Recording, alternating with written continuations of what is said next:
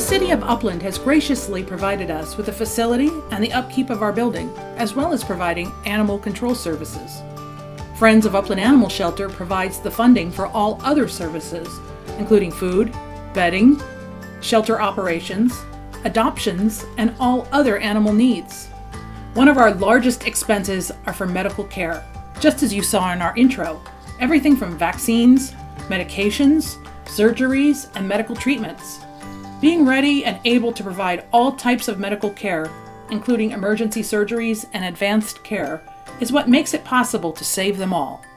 In 2021, our medical costs averaged $87 per animal, with over 1,800 animals coming into our care. This is a major expense that is made possible by your donations. Please help us to provide all that is needed for these animals to live their best lives and be ready for their forever homes.